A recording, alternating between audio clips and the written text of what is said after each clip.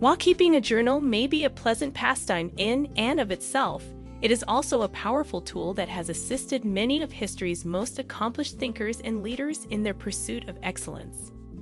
Famous people who have died include Oscar Wilde, Susan Sontag, W.H. Auden, Queen Victoria, John Quincy Adams, Ralph Waldo Emerson, Henry David Thoreau, Virginia Woolf, Joan Didion, John Steinbeck, Sylvia Plath, Shawn Green, Mary Chesnut, Brian Koppelman, Anaïs Nin, Franz Kafka, Martina Navratilova, and Benjamin Franklin.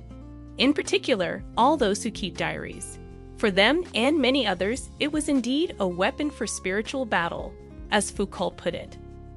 Something that allows them to put their beliefs into action while also allowing them to unleash their imagination and relieve stress. It was intrinsic to their identity. That experience shaped their identities. Even better, it can improve you. This comprehensive book will provide you with all the information you need to make journaling one of the finest things you do in 2020 and beyond, regardless of whether you are completely new to the idea of writing or have journaled in the past but have fallen out of habit. In this course, you'll not only discover the finest notebooks to utilize, but also the advantages of journaling, the most renowned diaries during the previous 2,000 years, and more. You may use the links below to go to a certain part of the page, or you can just keep scrolling to read everything. The positive effects of keeping a journal. Science backs up journaling's positive effects on your mental health and well being. Journaling has strong scientific backing, as several studies show. Harvard Business School found that compared to a control group that didn't keep a diary, those who did so at the end of the day were 25% more productive. We do not learn from experience. We learn through reflecting on experience. The authors write as a conclusion Our findings demonstrate reflection to be a significant factor driving learning. Journaling has been shown to boost mental health after traumatic or stressful situations, according to research from Cambridge University. The physical and mental well being of participants improved after being asked to write for 15 to 20 minutes about such situations. The ability to write well and talk confidently is essential, according to research conducted at Stanford University. Communication and clear thought go hand in hand, and writing reflects this.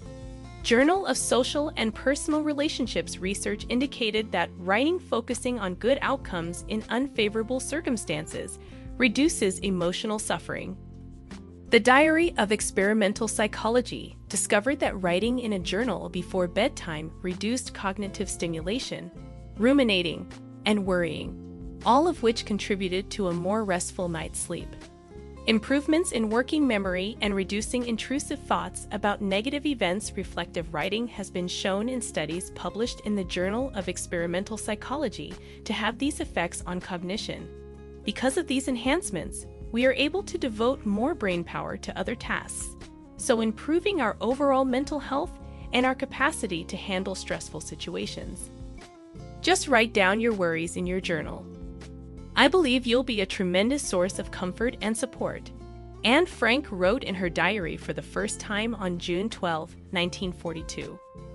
On the 24th day following her first diary entry, Anne and her Jewish family were forced to go into hiding they spent the next two years in a small annex above her father's business in Amsterdam. They planned to live there for a whole two years. And Frank's father, Otto, claims his daughter didn't consistently record her thoughts in her diary. Writing helped her process her emotions and find solutions to her problems. When she felt perplexed, she turned to writing. She used journaling as a method of self care venting her frustrations there instead of on the loved ones and friends who shared her plight. She must have had a particularly trying day when she said one of her most brilliant and perceptive statements. They have less patience than paper, she added. Journaling has been shown to enhance mental health after traumatic or stressful situations, as discussed in the research section. Similarly, a research conducted by the University of Arizona found that participants who kept a diary about their divorce were more likely to heal from the trauma and go on with their lives. Psychologists often suggest keeping a diary as a way for patients to cope with the emotional, external, and mental overload that might result from their condition. To provide just one example, Shia LaBeouf's Honey Boy script was adapted from his court-ordered diary entries on his traumatic upbringing. Journaling served as LaBeouf's therapy because it was part of sussing out my history, going to your soul, trying to get to know myself, like a shedding of skin in a manner, he said. In a time when I was in a position where I would have done anything to feel better, Haley Phelan of the New York Times began journaling as one of the most effective acts of self care is also, luckily, one of the cheapest. To keep a diary is not to put on a show for posterity. It's your own introspection. This is you confronting your issues head on. This is you working things out and getting some perspective. Describe the folks that drove you absolutely crazy today. This is the remark, tweet, or news item that has been driving you crazy.